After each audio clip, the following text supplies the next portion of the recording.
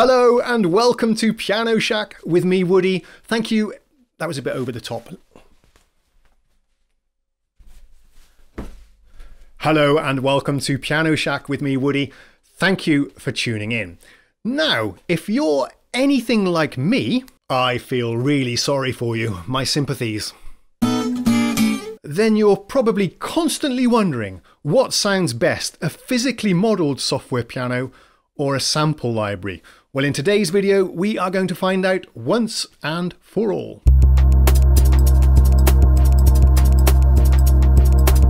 So, representing the physically modelled software pianos, we have Pianoteq, and I'll play you two instruments, the Steinway and the Petrof Grand Piano. And representing the mighty sample libraries, we have two instruments from Native Instruments, one is called The Grandeur, the other one is called Alicia's Keys.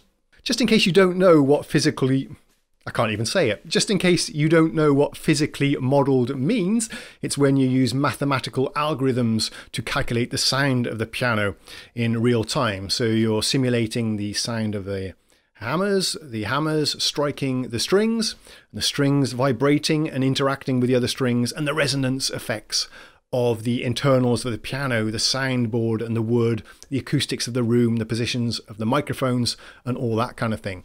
Whereas, on the other hand, a sample library is these days usually several gigabytes of real recordings, little snippets of someone playing the keys on a real grand piano at various velocities up and down the range of the keyboard.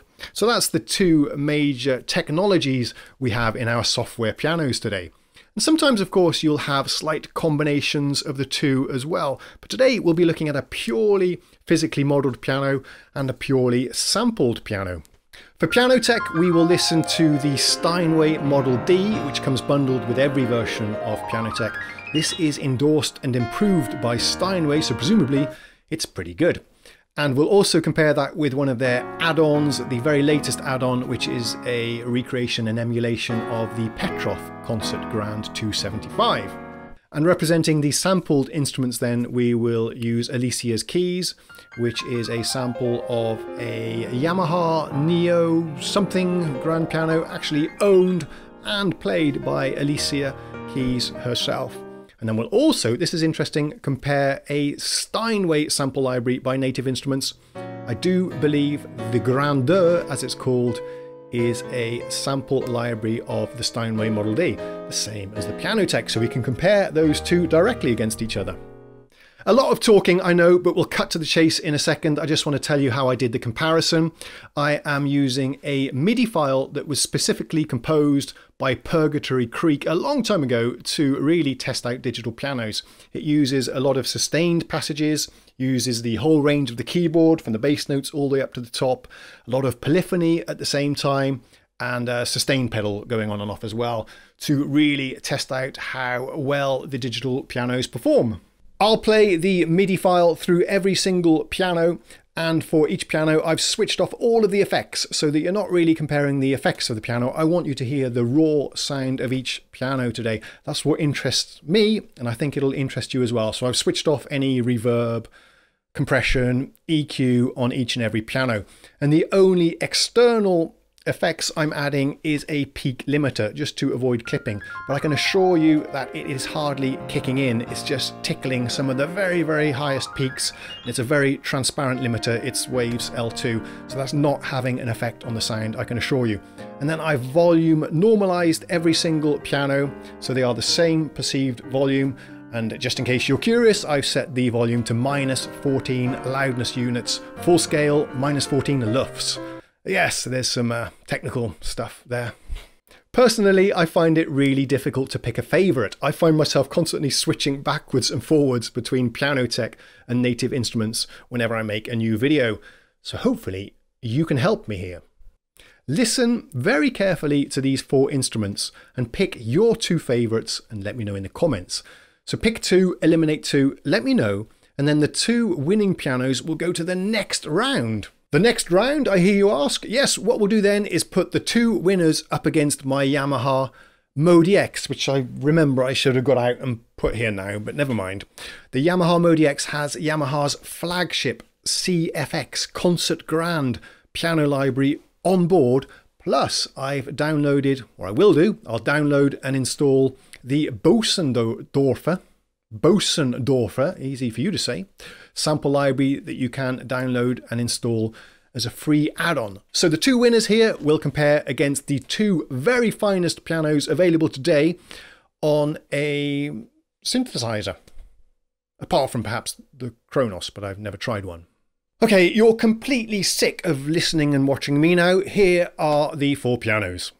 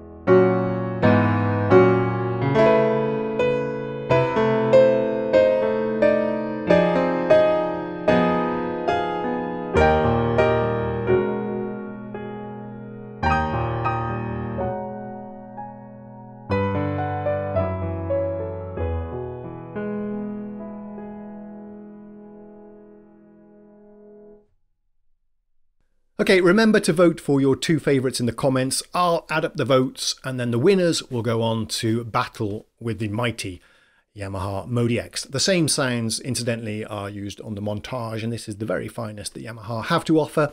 I think it's the same sample libraries you can find in their high-end digital pianos. I do hope that you enjoyed listening to that rather nice piece of music and that you got some value out from the video as well. It's super important if you are choosing a software piano to understand the differences between physically modelled and sample libraries, the pros and cons of each, and now you've heard them all in pristine quality. So you're in a better position to make a well-informed decision before you purchase anything. I will make high quality MP3 files available as a free download over on my website, woodypianoshack.com. So check that out if you want to listen again. In the meantime, thank you ever so much for watching, subscribing, liking. I'll see you again soon. Cheerio.